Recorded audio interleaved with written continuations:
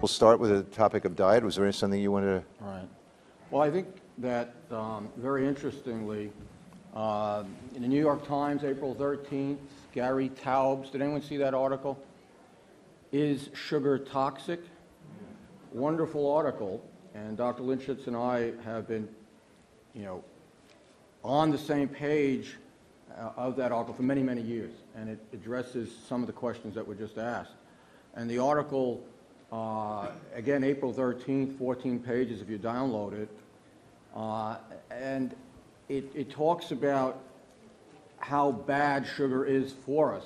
We know that it causes obesity, and obesity in itself has its own problems, increased dementia, increased cancer, heart disease, joint pain, and on and on. Uh, but then the article got into the fact that cancer is increased by sugar. All different forms too. Right.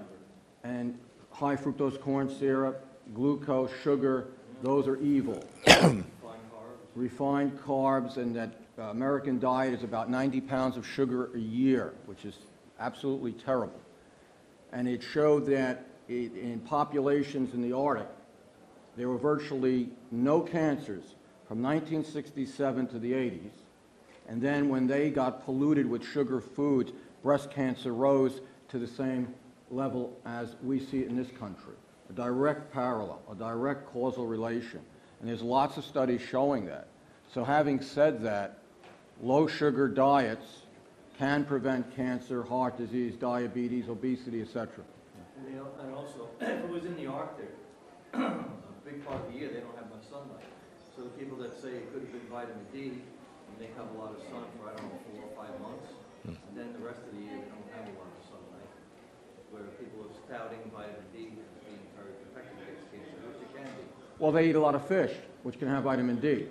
I mean, that's a good question as far as vitamin D goes, but they have a lot, they eat a lot of fish.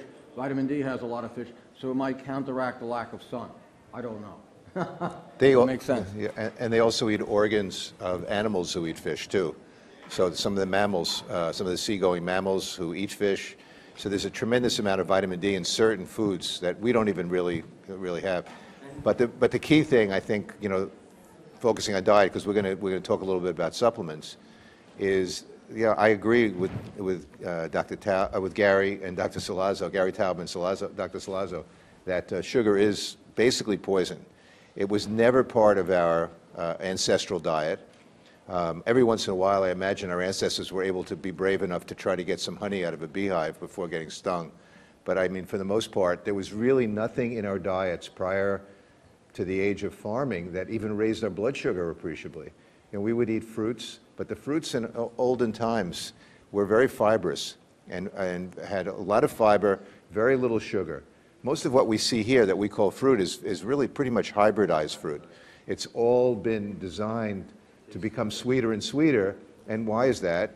The same reason that cereal manufacturers make their cereals sweeter and sweeter, because we're addicted to sweet. And the more sweet, the more that we buy their stuff, and the more we buy their stuff, the richer they get.